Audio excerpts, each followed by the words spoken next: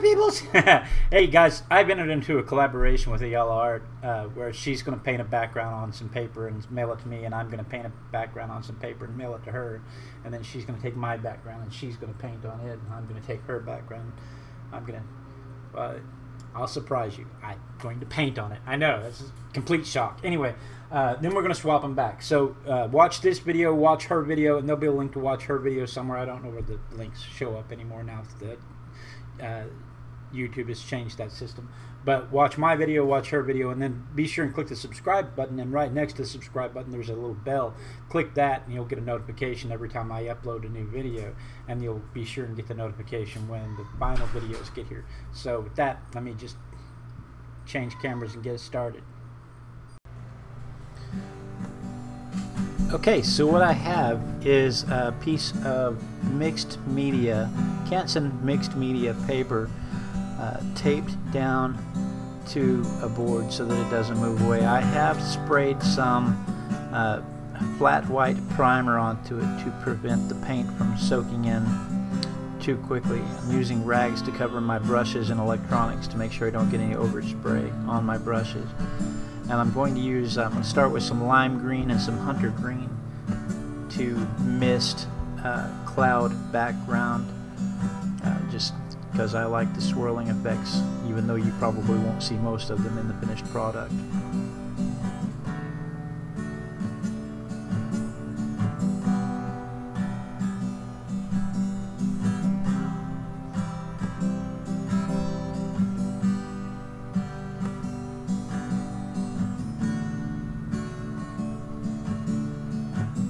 I forgot to start recording again, but basically you just lay a color down like in the red circle there in the upper part of the picture and then spray a color another color on top of it. I used lime green and then you use glossy paper like a magazine page and lay it across there, let it stick in and then rip it up really quick and you'll get some textured effects like you see in the uh, sun on the right where the planet, the green planet on the, I'm sorry, the green planet on the right where the sun on the left and then mask them off with some uh, lids like the, the spray paint lid, the water jug lid, and here is the, an aspirin bottle lid that I've obviously used with black paint in the past.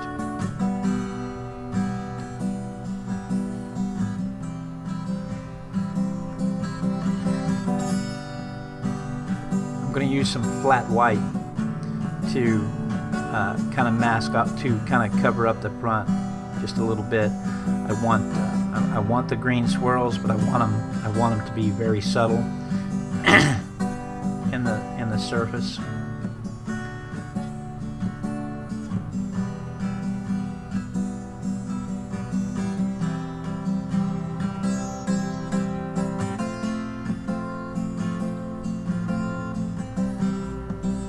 And then using a piece of folded paper and some blue paint I'm going to spray the paint inside the folded paper, not at the canvas, at the paper, and I'll let the, the paint fall on the canvas as, uh, as overspray.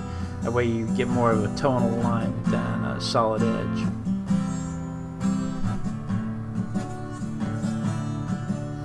I'll do the same thing with the horizontal. Uh, I'll spray toward the mask, kind of at right at the seam, but mostly up at the at the mask, so that you get you get more of a tonal edge than a hard edge.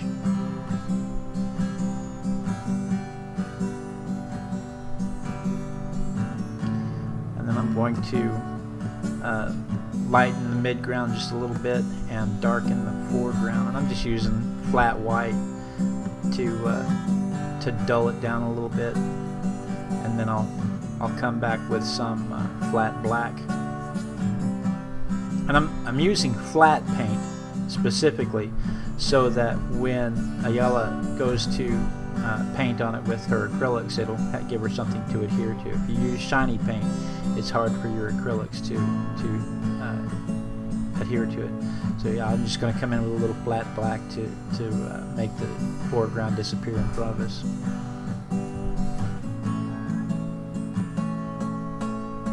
And I'm going to add a crown to our mask of the sun because I don't want a hard edge around the sun. I want the sun to glow from behind the mask. Then I'm going to use the, the uh, paper to mask off the foreground to make sure that I, I do want a hard edge at the horizon. I don't know how I get paint all over my fingers and everything in the studio. But again, I'm using flat, flat black. My crown is too close to my cap. I'm still getting too hard of an edge. So I'm going to raise my crown just a little bit. And I probably should have curled the edges up. What probably would have been better off. A paper plate is great for this, but I didn't have any small paper plates because we don't use those anymore. But uh, usually uh, have a small paper plate or a styrofoam plate where the edges are up away from uh, the mask so that it gives you a nice, uh, you get a nice uh, soft tonal edge. You don't get you don't get the hard edge like you will around the hard masks like the the spray paint lid or the aspirin bottle lid. And then I'm going to lift the back side of the planets and spray a little black on the back side of them just that you can just so that you get uh, a little bit of uh, darkness on that side. It, it gives you the indication of which side the light is coming from. And then I'm going to put the, the masks back on because it'll pull some of that black back up and give you a highlight around that side to still give you an edge of the planet. And I'm going to lift the, the lids up and spray a little lime green underneath so that we get a sense that the light coming off of the sun is lime green. And then I'm going to come back with the flat white again because I, I want it to be a I want it to look like a bright light. Even though the light source itself won't appear very very bright you'll see the glow against the planets. When you come back with the flat black on top of that the the uh, thinner in the spray paint mixes with the paint on the, on the bottom and causes it to swirl together. So you end up with cloud swirls in your space scene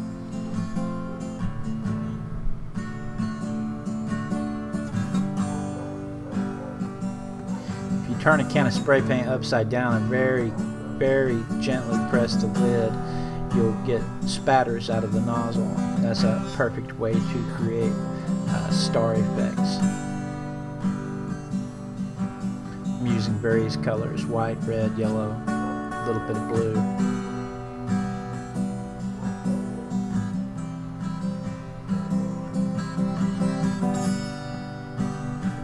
again, I, I, don't know how paint gets all over the studio, uh, on the walls, on the electronics, underneath the cap, the uh, visor of my cap, on my eyelashes and glasses. I just don't understand how it happens. Sometimes the paint doesn't cooperate. It's either all on or all off. What you end up with is a pool of it on your fingers, and so you just flick that on there and you get the same effect, just bigger globules. Still cool. I'm gonna I'm gonna mist it across the background anyway because I I want I want it to look like there's depth to the space. I want it to swirl in space.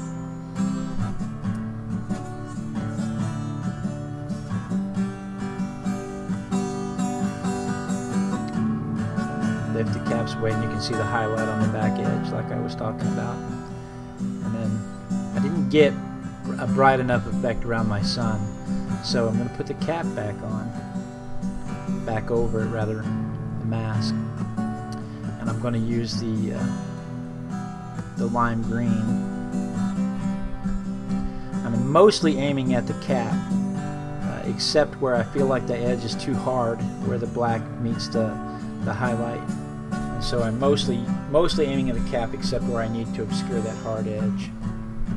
And if I shoot paint directly onto the black outside of the hard edge, then it, it gives the effect of, a, of, a, of an aura of burning gas cloud out in space around the sun. So it really, really adds to the effect.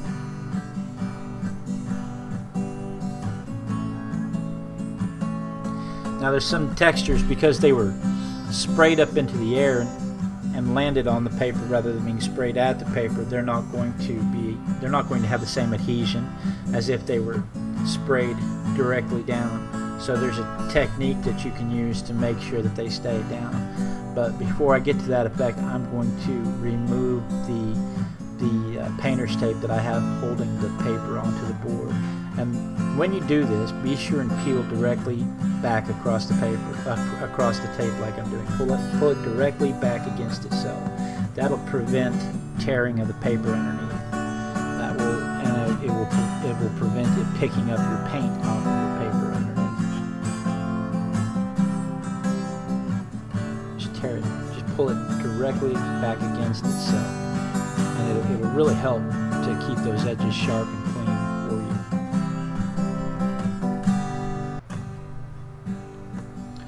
You'll notice on this last one I got a little impatient and I didn't do that. And if you'll watch this last corner, you'll see that it tears the paper just a little bit.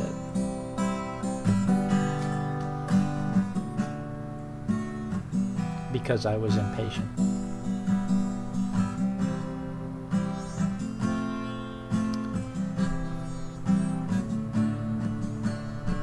And I'm going to stop for a minute here and I'm going to clear away everything uh, I'm, I'm going to make sure I put everything away before I go on to the next step.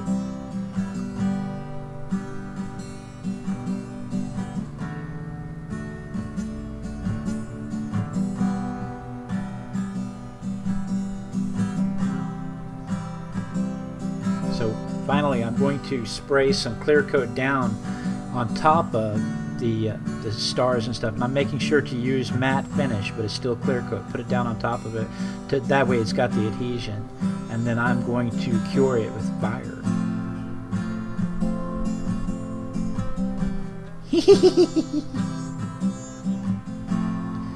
This is exactly why women live longer than men. Hope you enjoyed it. Look for the next seat feature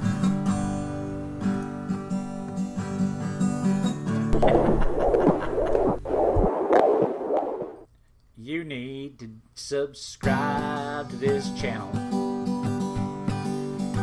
You need to subscribe to this channel. You need to subscribe to this channel. Subscribe to the Artistic Biker now.